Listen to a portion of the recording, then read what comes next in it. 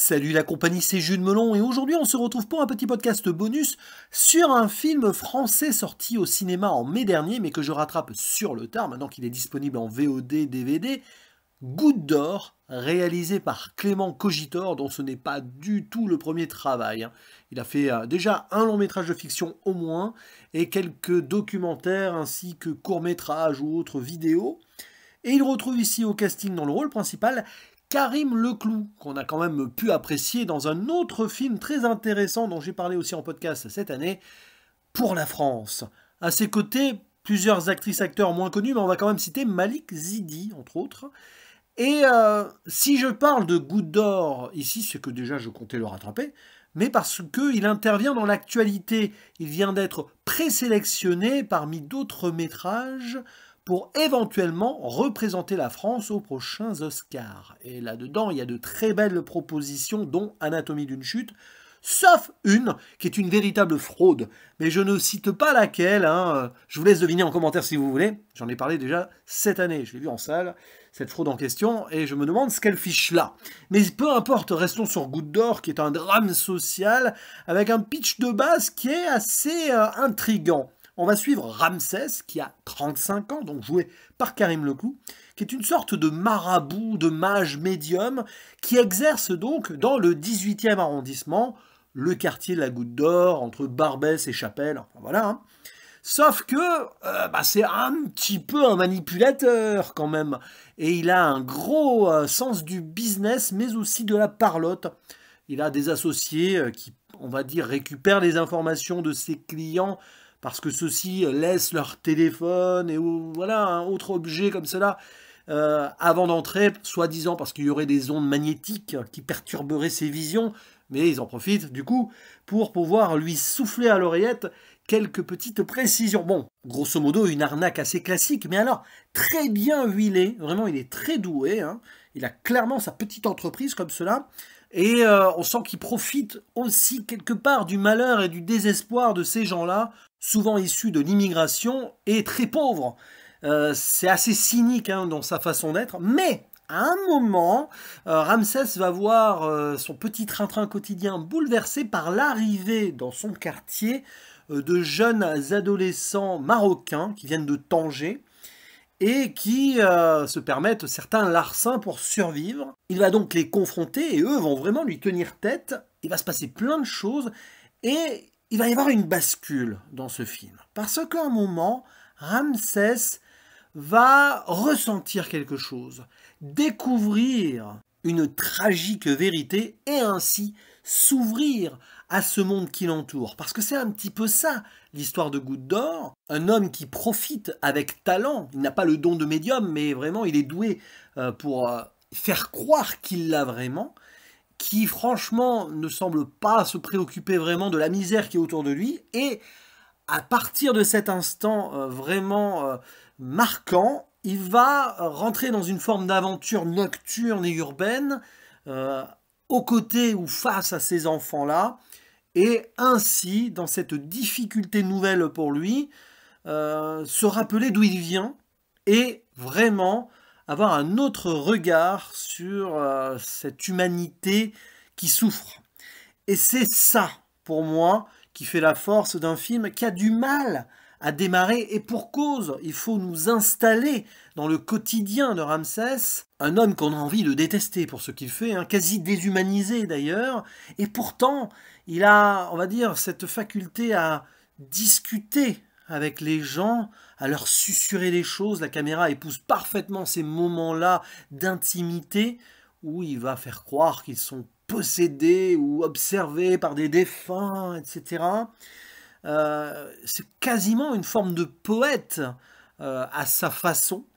Et alors, quand euh, tout va vraiment se précipiter, eh bien, il va sortir de ce huis clos à la fois mental et spatial. Il va errer ainsi dans les rues, connaître vraiment la misère d'une certaine façon, il va vraiment sentir cela, et aussi se rendre compte que ce monde autour de lui, qu'il pensait connaître très bien, euh, en fait, regorge de vérités qu'il va ainsi affronter. Il y a par exemple ce vigile-là qu'il côtoie, bah en fait, c'est plus compliqué que cela. Il va se rendre compte que, en fait, euh, le monde autour de lui peut aussi le tromper et lui-même s'est trompé sur le monde qui l'entoure, lui qui pense vraiment tout maîtriser. Et c'est extraordinaire de voir le parcours de ce personnage qui va prendre, on va dire, une nouvelle humanité ou récupérer son humanité ouvrir son cœur, même si euh, forcément il faut passer par des euh, éléments assez difficiles, hein, notamment donc cette découverte sur laquelle je ne dis rien, mais qui est vraiment poignante. Et après, il y a l'évolution de son relationnel avec ces jeunes, euh, dont on sent vraiment toute la détresse et cette violence vraiment qui est là, qui est absolument palpable. ça bouillonne, ça explose, et puis ça finit par, d'une certaine façon, s'apaiser la mise en scène suit parfaitement ce parcours. Donc certes, il faut passer les 30-40 premières minutes avant ce retournement, et derrière ça file droit pour une dernière heure qui est assez magistrale, d'autant plus que Clément Cogitor sait mettre en scène ces situations. Alors c'est souvent vraiment euh, empreinte d'un réalisme, caméra quasi épaule, euh, on suit, on voit qu'il vient du documentaire aussi, hein. enfin qu'il a fait des documentaires, euh, ça devient nerveux quand ça le nécessite, forcément. Au début, on est plus dans cette intimité de certains échanges entre donc les clients et ce marabout. Puis alors, après, tout est dans le regard et dans le faciès d'un Karim Leclou qui semble progresser à chaque film. Déjà, donc, donc, pour la France, il y avait quelque chose de fort dans un jeu tout en retenue, mais tout en force, justement, aussi. Là, c'est presque le même style, on va dire, mais dans un contexte euh, un peu plus viscéral. Et on sent dans euh, la façon dont il euh, travaille le regard quelque chose de grand dans cet acteur.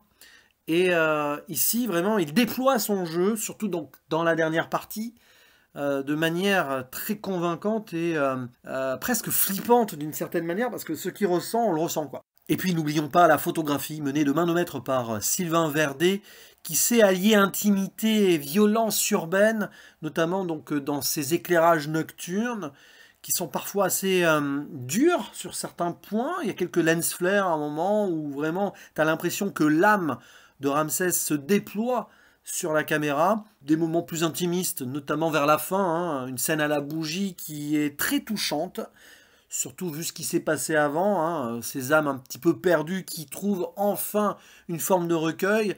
Beaucoup de moments qui sont vraiment à couper le souffle et qui déchirent le cœur parce que c'est potentiellement une histoire véridique, enfin qui pourrait arriver. Évidemment, ici c'est de la fiction, mais voilà, on est vraiment dans une forme de cinéma brut qui pourrait vraiment euh, se passer à deux pas de chez vous, avec on va dire, une teinte de mysticisme, si on veut, vu le contexte maraboutage, etc. On triture un peu les croyances, ce que l'on pense voir ou savoir. Donc c'est très intéressant ça. Et euh, on est quelque part entre deux mondes aussi, parce que oui, on est en France, à Paris, hein, voilà. Vous êtes passé peut-être à côté de ces rues-là et tout, mais il y a comme une sorte d'univers parallèle qui semble se déployer ici, et pourtant, c'est chez nous. Et c'est là, et euh, ça nous euh, met, nous spectateurs, dans une position euh, d'humanité nécessaire et d'empathie forcément pour ces âmes qui souffrent dans la pauvreté et qui n'ont que recours à la violence au final pour s'en sortir. ça questionne donc socialement sur l'état de notre monde contemporain et de notre pays développé.